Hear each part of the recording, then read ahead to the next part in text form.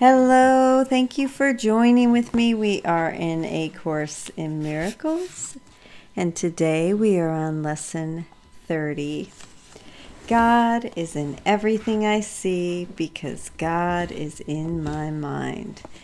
And we are going to do our random selection of the text, chapter 8, The Journey Back, section 9, I believe, The Body as Means or end. In paragraph 5, I seem to gravitate toward 5.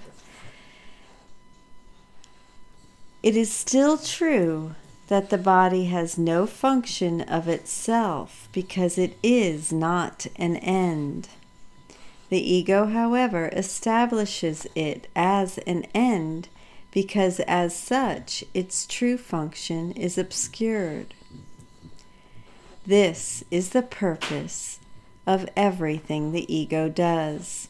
Its sole aim is to lose sight of the function of everything. A sick body does not make any sense. It could not make sense because sickness is not what the body is for. Sickness is meaningful only if the two basic premises on which the ego's interpretation of the body rests are true.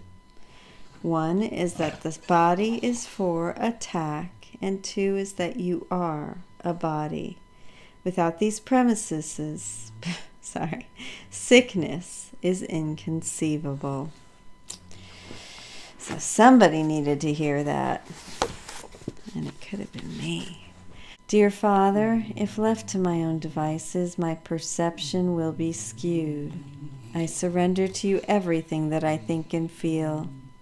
God, please take my past, plan my future, send your Spirit to redeem my mind that I might be set free.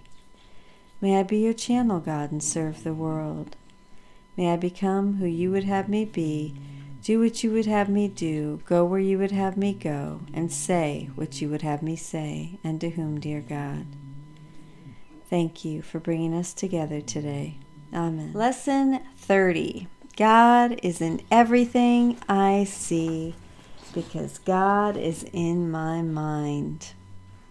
The idea for today is the springboard for vision.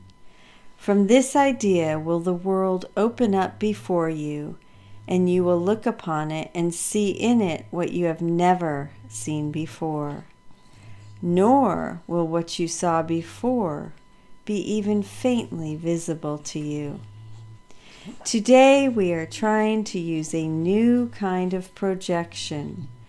We are not attempting to get rid of what we do not like by seeing it outside. Instead, we are trying to see in the world what is in our minds and what we want to recognize is there. Thus, we are trying to join with what we see rather than keeping it apart from us. That is the fundamental difference between vision and the way you see. Today's ideas should be applied as often as possible throughout the day.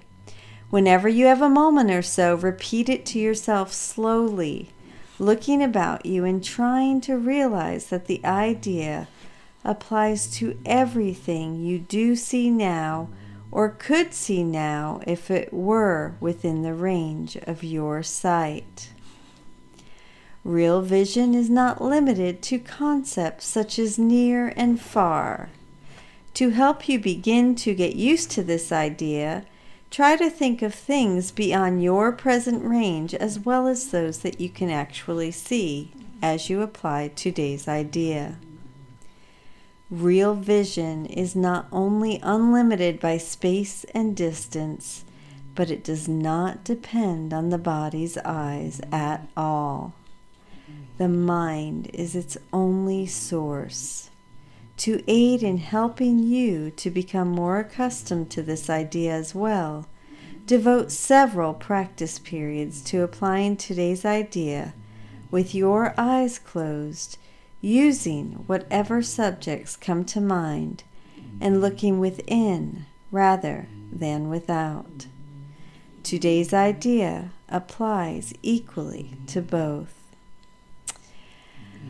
Lesson 30 in A Course in Miracles workbook for students God is in everything I see because God is in my mind. The springboard for vision. I love you. Thank you for joining with me.